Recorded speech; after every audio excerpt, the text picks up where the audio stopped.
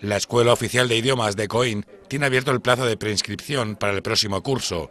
Los interesados en reservar una plaza tienen hasta el día 22 de este mes para presentar su documentación. La prescripción es algo muy importante para la gente que realmente tiene ganas de entrar en la escuela porque prácticamente te asegura el 100% de acceso a la escuela. Después lo que es la matriculación en julio prácticamente se cubre casi todo y en septiembre ya prácticamente, como ya sabéis, alcanzamos una media de entre 750 y 800 alumnos. La Escuela Oficial de Idiomas cuenta este año con algunas novedades.